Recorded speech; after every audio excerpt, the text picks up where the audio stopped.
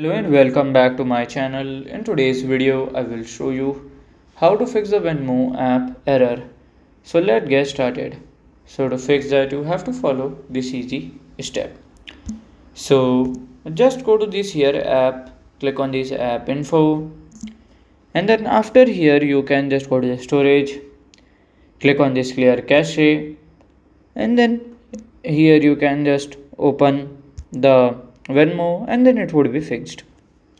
So this is how to fix the Venmo app error and if you find this video helpful make sure you like, subscribe and share the video. Thank you for your watching.